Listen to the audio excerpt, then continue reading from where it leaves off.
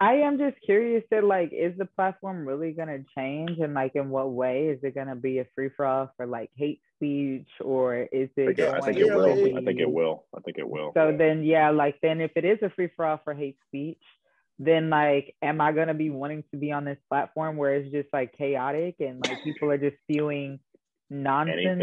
Yeah. yeah.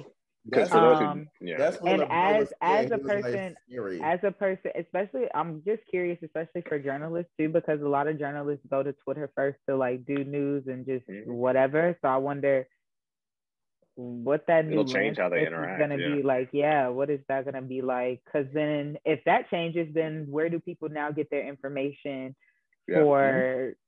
So Anything. I'm just yeah curious to see how that changes the landscape because I do feel like it's gonna change hopefully for the better. I mean, I don't really know because also even before him, Jack's overall thing with Twitter, Twitter is just he wasn't really doing a good job at it with it either. But then I'm also like, how do you manage who does social media? Yeah, like how do you really like get a control over that? So I don't know. We'll see.